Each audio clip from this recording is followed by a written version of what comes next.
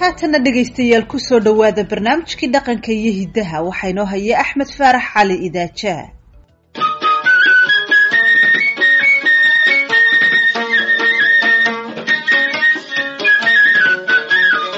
waa barnaamijkii dhaqanka iyo hiddaha ee laanta af soomaaliga ee v o a da iyo qayb labaad oo ku saabsan sheekadii waasuge iyo warsame qalinkii allaha u naxariistee xuseen sheekh axmed kadare.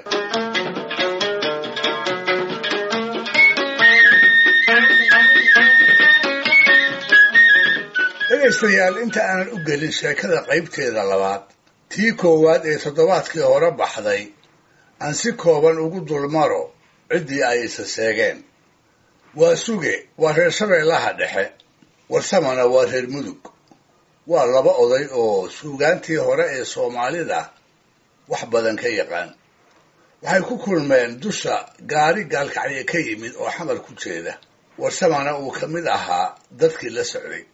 Waxaa kaloo gaariga saaraa inan da'yar oo dhaanraac la yidhaahdo ku-dayashada dhaqamada reer galbeedkana aad ugu fogaaday.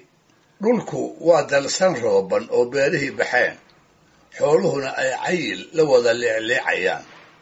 Waa suge ayaa markuu arkay waddada labadeeda dhinac beeraha sariiran wuxuu ku dhuftay hees beer farashada ammaanaysa. Warsamana markuu arkay geel quruxdii ka batay oo waddada ka gudbaaya ayuu tiriyey hees iyadana meesigaas lagu ammaanay.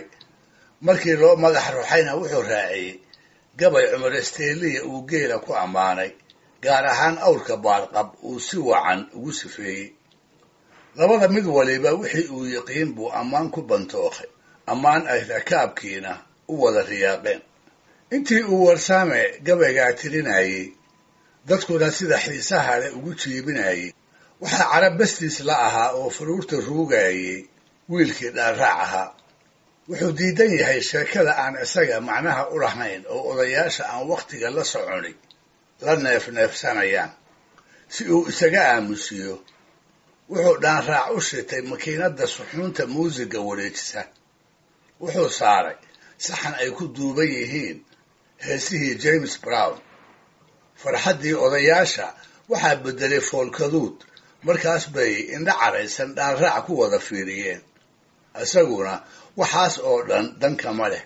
Wuxuu ku cayaarayaa fadhigiisa oo hadba gees isu tuuraya jilbahana isku tumaya marmar heesaaga ayuuba kuna luuqaynayaa baydadka iyo howlisyada qaarkood sida jirabba jirab jirabba jirab. Markii cabbaar la aamusnaa wiilkiina uu xiisa dhacay ayaa mar kale sheekadii la soo nooleeyey ugu horrayntii waa suge ayaa isagoo aad uga caraysan waxyaalihii uu dhaanraac ku kacay. Wuxuu tusaale ahaan dadkii ugu tirshay masafadii sheekh axmed gebyow ee ahayd qasqas carmaha iyo qaabis caanood midba markoo la qasmaansahaye quudka haddii la karshow qabow yahay inta qurmaa mar la soo qubaaye geenye qurxoon iyo qayl dameeraad ninba midkiisu la qaal badnaaye rati qawaari iyo qaalin juuclaah midba markoo qalab saarahayna qashkarisow iyo naagta qaafaah maharka loo wada qaybihaye? Qaran haddii marba qoon u soo kaco wixii qadiima la quursahaye? Qur'aanka toosana qaadirkay yidhi qolof qab gaaluhu qoonsahaye.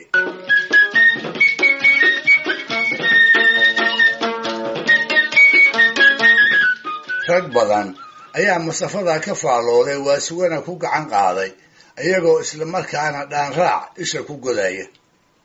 Waasuga markuu ogaaday in tusaalihiisii lala dhacay ayuu si wanaagsan inta fadhiga ugu qaab samaystay oo maradiisii tarashka lahayd deegaha ka ritay sidii libaax hareerihiisa marba dhan u jeestay. Markay intaasu dhacday ayaa warsame oo ay la noqotay in laga dheereeyey mar keliya sidii webiga u biyo keena.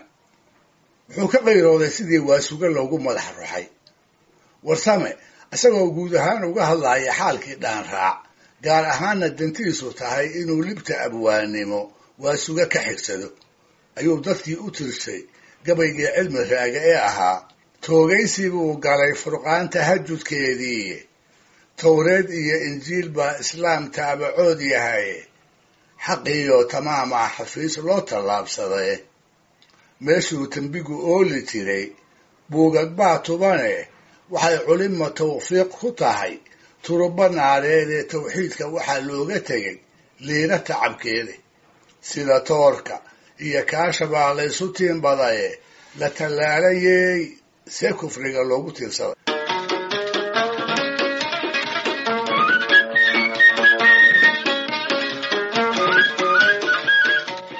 Dadka oo gabaygaa ka faalloonaya murtidiisana wadajir u dhuuxaya ayaa dagaal lama filaanhi dhex maray. Wiilkii dhaanraac ahaa iyo haweenay duq ah oo baabuurka meel dhexe ka soo raacday fadhiidayna kursiga kiisa xiga. Dagaalku wuxuu ka dhacay dhaanraac oo xabad sigaara shitay duqdiina ku tiri war ha igu afuufin qurunka afkaaga ka socda. Dhaanraac isagoo intii tabartiisa dadaalaya ayuu aftalyaani ku yidhi skuusi raalli ahow duqdii waxay u qaadatay inuu caynayo. Markaas bay inta la baxday dambiishii ay alaabta ku sidatay madaxa kala dhacday oo u celisay ilaa gacmaha la qabtay. Haddaba muxuu falay dhaanraac inta istaagay oo gacmaha shaarka laabtay feerna la baxay ayuu yidhi duqda iskeen. Dadkii baabuurka saaraa oo yaab la wada qoslaya ayaa wiilkii ka badbaadshay duqdii ayaydiis lafaca ahayd inkasta uu murankoodii dheeraaday ilaa uu dadkii wada saameeyo. Oday raggii ka mid ahaa ayaa markii dambe sheekadii soo nooleeyey si uu muranku u joogsado. Wuxuu duqu dadkii u bilaabay isagoo ku luuqaynaya labadii bayd ee u dambeeyey gabaygii cilmi raage oo uu hore dadka ugu mariyey warsame. Waa baydadkii ahaa sida toorka iyo kaasha baa laysu tiinbadaye la tallaalayey see kufriga loogu tiirsaday ninkii odayga ahaa markuu dadkii muranku saameeyey maskaxdooda mar kale ku baraarujiyey murtidii xiisaha lahayd isagoo isticmaalay xeel waayeel. Ayuu intaa kuma dhaafine isla markiiba waasuga ka codsaday inuu isaguna markiisa murti kale u raaciyo. Gabaygii warsama tirshay waasuga inta dadkii isha la raacay wejiyadoodana ka gartay in hadalka xiise loo qabo.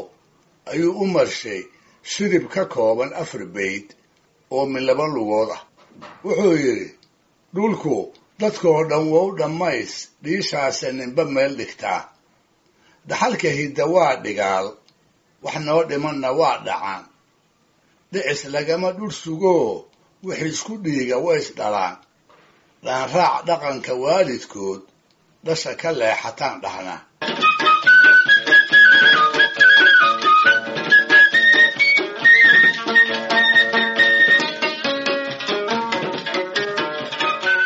waa suge oo damacsan inuu shiribkiisa guurowga raaciyo iyo warsame oo sugayla niyaddana iska leh yaa mar keliya hadalka ku siiya. Ayaa magaalada xamar la soo galay. Dhegaystayaal barnaamijkii dhaqanka iyo hidduhu maanta halkaa ah inoo joogo. Waa inoo toddobaadka soo aadan iyo qayb saddexaad. Hadduu eebba idmo